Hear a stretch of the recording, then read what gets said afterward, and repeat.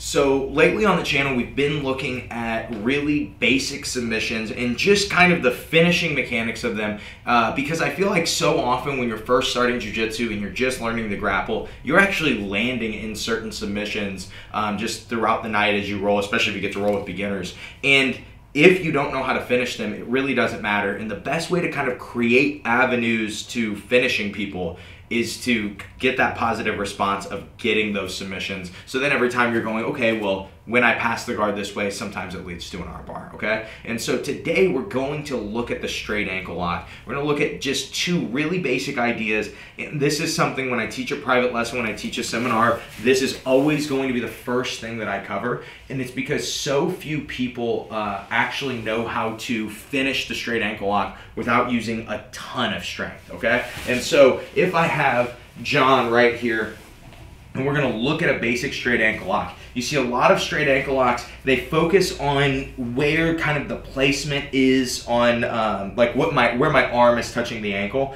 I don't focus on that as much. Instead, I actually just like to focus on being deep and being in contact with the entire ankle. Instead of having my elbow flared or hands high and those are really good ways to finish a straight ankle lock but just for me personally um, i've been liking going deep and just trying to get a bite on the whole ankle. And from here now i need to either control his knee or his hip ideally get some control on both. And so all i'm going to do with that is kind of just suck up space to control those. And so when we look at our standard straight ankle lock this is a ton of space for him to be able to move around.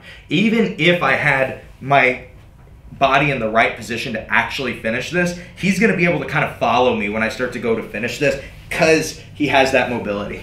If I suck up this space, so I put my hips in, I pinch my knees a little more. Now there's way less space there. Now when I go to finish, if he goes to follow me, he really just can't he stays in the same position, okay? And so the other thing that we're looking at, I'm controlling the whole ankle, but this is kind of the most important thing with finishing is actually gaining control of the person's toes. So what you can have your partner do when you first start doing this is just move his toes up and down.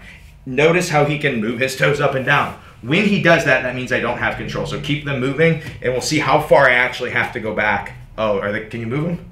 Okay, so that must mean that if I put my hips in, I'm gonna be able to get that finish really, really easily, okay? And so how you're looking at this basic finish is always going to be that, but this idea translates to so many other places. When I look at a K-guard straight ankle lock, I control the knee and I make sure that there's no space in the crook of his knee, okay? But what's cool about this is if he wiggles his toes, notice I won't have to actually scoop my body out. When he keeps wiggling, I just extend this leg to get to the end of his toes and that's how I can get my finish. And that is again why I'm not having to actually put my arm in any weird, awkward position, I'm just able to hug, is because we're actually controlling the joints that we're trying to break.